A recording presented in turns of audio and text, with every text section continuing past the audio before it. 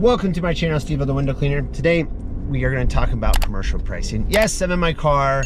I try to film videos like I did the last one where it was like really nice background in my office, but there's just no time. So I spend a good amount of time driving, so back to the car, might just keep to the car, is what it is. So, commercial and storefront pricing. Last video about pricing, talked a lot about residential pricing. The main reason that I'm kind of remaking this video or updating it. It's not gonna be as thorough as my old videos that I made in 2021, where I showed a lot of pictures of residential, different storefronts, different commercial buildings, and kind of what I would do, because I feel like some of it is pretty simple as far as commercial and storefront goes. Let's start with storefronts. Storefronts, what I do now is I price the average window pane, let's say anywhere from like three feet to four foot, uh, something around there, an average door at about $2 per side. Now the trick with this is that you're cleaning this on a regular schedule. So that's for cleaning it like every single, you know, month or every two months. If you're not doing that, then I would just revert to my residential video and basically charge it like a residential because it's a one-time thing. Um, and then if that window is a super large window, let's say five feet by eight feet, five feet by 10 feet, I would charge at least $3 per side or maybe even $4 per side. But when you start getting up there in prices too high with storefronts, it is a quite competitive market. You're dealing with a lot of franchise companies who can do it for less. So that's one thing to think about um, when doing that. There's a lot of, I, I put restaurants, I put everything in there except for mid-rise buildings into pretty much storefronts because restaurants you can do on a regular service, um, you know, dentist offices, doctor offices, like different stuff like that. So what I find is a good charge is right about that $2 per side. And I find you can get a lot of work that way. Now, you might be watching this video and you're saying, oh man, I get like, I get $7 a window. That's great, you get $7 window. You're a heck of a salesman. Good job. I have just found from the market and what I've seen that there's, of course, your bucket bobs that are gonna do it for a dollar altogether, so 50 cents for each side of a window pane. I'm not gonna do that, but I find that once you're efficient and pretty speedy, that $2 per side works out really, really nice. Um, some other things that can happen with you know, storefronts or commercial stuff. I'm going to say like, we'll talk about mid-rise commercial, but like commercial one-story stuff is like garage doors. If you're doing garage doors at like uh, you do an automobile place, typically I charge like a dollar to a dollar fifty a side um, for those kind of windows because I find it's pretty quick, it's pretty easy. You're pretty much to pull everything, and all of my prices is doing everything with a pull. So like I don't take out like my three foot or four foot step ladder or my stack ladder or my extension ladder for pretty much any storefront. I pull everything. That's why you can keep the price low. That's it. Let's say you're doing a liquor store and I, I do a couple liquor stores and you're cleaning the cooler doors, right? You're not gonna do them as regular. I do mine like every eight weeks on the places that I do. Same exact prices, two bucks a side. Now, like I said earlier, this market is very skewed, so you can find that you could have a restaurant that has 65 windows say to you, oh, we're getting it clean for 65 bucks inside and out.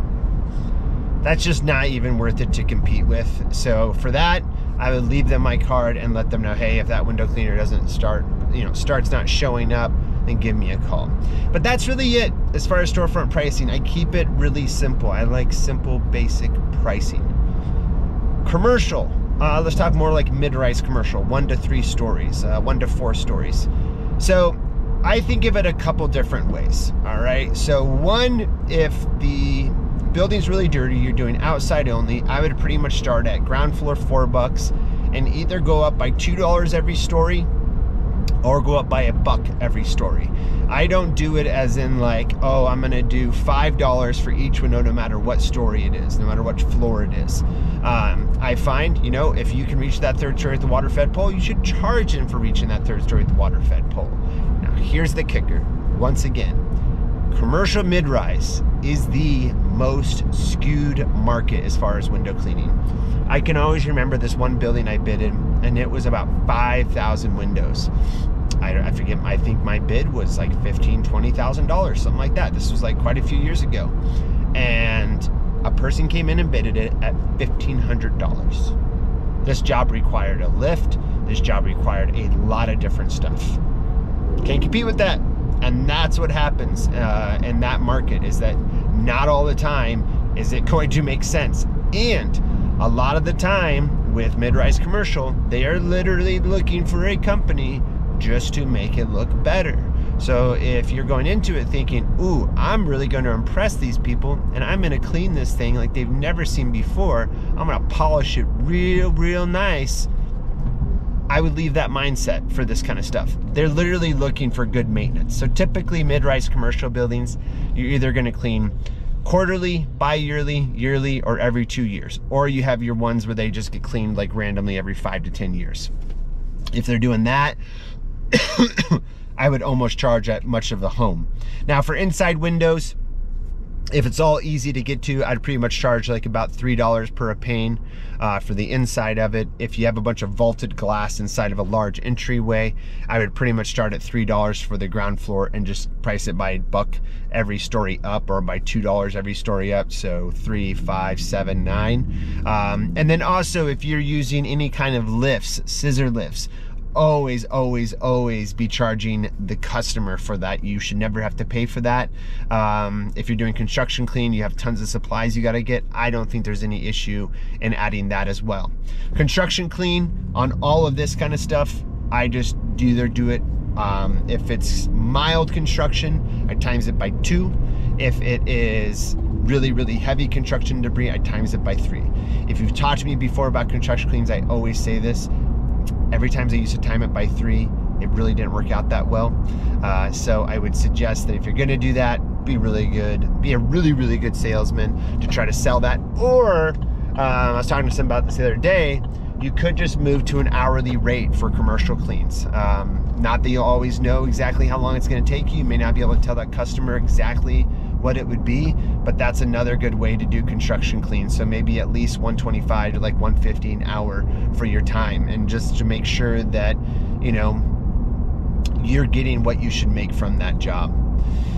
Trying to think of any other kickers for like mid-rise commercial. Mid-rise commercial I've always found either water-fed pole or pole work traditionally works pretty well.